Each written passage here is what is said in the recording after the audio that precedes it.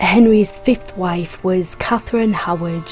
Catherine and Henry were married one year, three months, and 26 days. Her motto as Queen of England was No other will than his.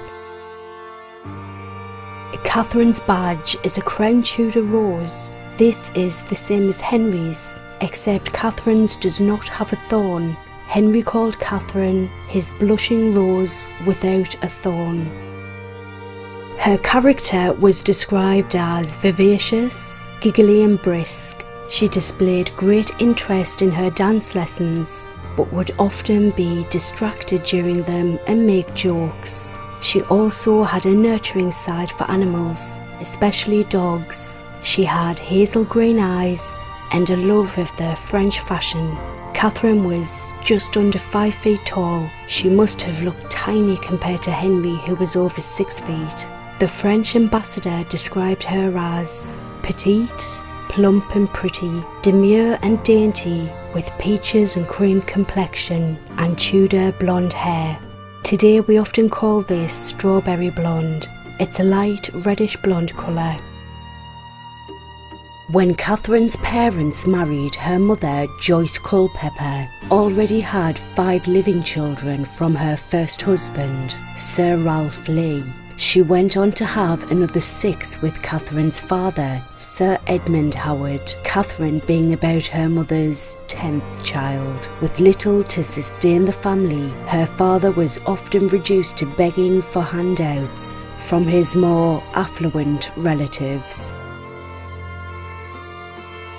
Soon after the death of her mother in childbirth, Catherine was sent to live with her step grandmother, Agnes, Dowager Duchess of Norfolk. The Duchess of Norfolk had been a prominent court figure in her day, and many parents, in hopes of advancing their children's chances in court, placed their children under her care. The Duchess offered a comfortable home at Chesworth House. She did not, however, provide strict supervision for her wards and allowed her granddaughter Catherine to run wild. Catherine attracted many men from an early age and under her grandmother's lax supervision had two affairs. Catherine's music teacher Henry Manox taught her the virginal and the flute and also tried to seduce his young pupil. Francis Derham, a gentleman in the service of the Duchess, would creep up to share Catherine's bed in the girls' dormitory. A maid who shared the room refused to sleep nearby because of all of the puffing and blowing that came from Catherine's bed. In the spring of 1540, Catherine's uncle, the Duke of Norfolk, arranged for her to go to court as a maid of honour to Anne of Cleves, a leader of the faction of conservative Catholic nobles. The Duke of Norfolk, who had already seen one niece become queen, Anne Boleyn, hoped Catherine's marriage to the king would advance his faction's interests and lead to his own rise in power. By all accounts, the now 49 year old Henry fell in love at first sight with Catherine. As the annulment of his marriage to Anne of Cleves proceeded, Henry began to court Catherine. The two were married at Oatlands Palace on the 20th of July 1540. The marriage was made public on the 8th of August and prayers were said in the Chapel Royal at Hampton Court Palace. The king embarked on a lavish spending spree to celebrate his marriage. With extensive refurbishments and developments at the Palace of Whitehall, this was followed by more expensive gifts for Christmas at Hampton Court Palace. She enjoyed the masques and balls at court and danced with men while Henry, unable to partner her, looked on. She relished being indulged by her husband and basked in the attention she received from everyone. Anne of Cleves visited Catherine and knelt before her with gifts. In one instance, the two women danced the night away, while Henry, with his abscessed leg, retired to bed.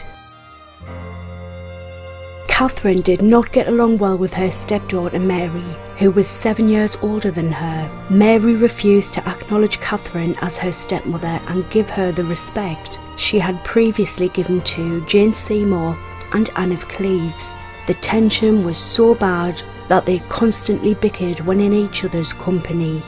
In spring 1541, Catherine embarked upon a romance with Henry's favourite male courtier, and her first cousin, Thomas Culpeper. He was first introduced into Catherine's personal life in March of 1541 when King Henry went on a trip to Dover and left Catherine at Greenwich. The couple's meetings were arranged by one of Catherine's older ladies in waiting, Jane Boleyn, Viscountess Rochford, the widow of Catherine's executed cousin, George Boleyn,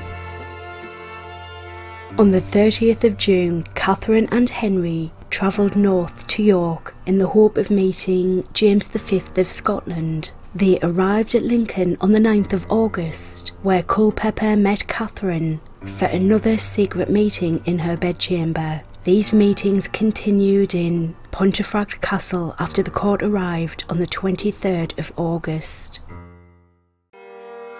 On the 27th of August 1541, Francis Dereham approached his former lover seeking employment. Queen Catherine made him her private secretary and then a gentleman usher of the Queen's chamber. Dereham was a braggart, unable to keep his mouth shut. He brashly boasted that if the King died, he would marry Catherine. When the Archbishop of Canterbury, Thomas Cranmer, presented Henry with evidence of Catherine's indiscretions, the king was stunned. Lady Rochford was interrogated and from fear of being tortured agreed to tell all. She told how she had watched the back stairs as Culpeper made his escape from the Queen's room. On the 2nd of November 1541, Archbishop Thomas Cranmer left a letter for Henry in the Holy Day closet at Hampton Court Palace, detailing Catherine's colourful past and how she had lived most corruptly and sensually. She wrote a letter of confession to the king, begging for his mercy and stating that her relationship with Dereham had ended almost a year before the King's Majesty was married to my Lady Anne of Cleves. But the King's Council were now aware of Culpeper, who subsequently confessed to a recent relationship with Catherine. Henry broke down in tears, then asked for his sword so he could run her through himself.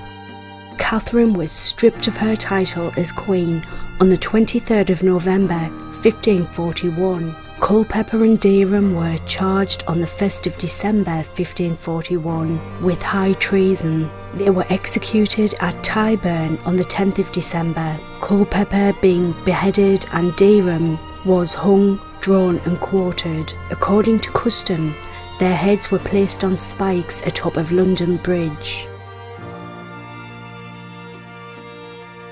Catherine herself remained in limbo until Parliament introduced a Bill of Attainder on the 29th of January 1542, which was passed on the 7th of February.